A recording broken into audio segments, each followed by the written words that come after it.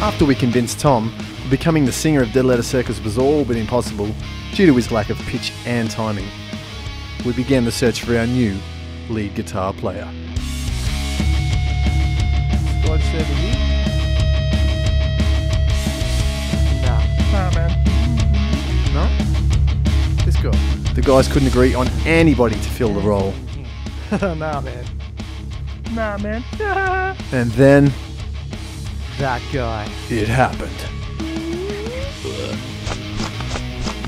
What we were witnessing was a mind blowing combination of yoga and karate. Other onlookers were equally as stunned at what they were seeing. School children were terrified by Yogarate's sheer power, and for good reason. It was deadly in the wrong hands. The time had come to make our move. Stewie got too close to the action though.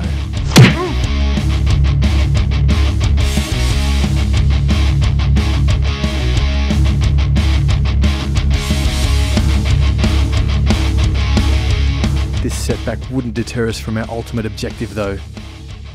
The axe was unveiled.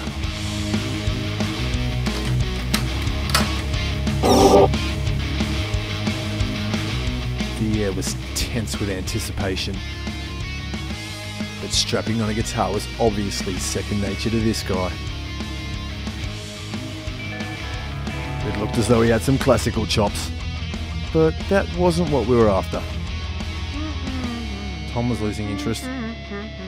Slap guitar wasn't really working either. But there was one final hope. And finally, notes started to emerge that reminded us what DLC was meant to sound like. Emotions ran high. Something felt different now. What were these feelings? This was it!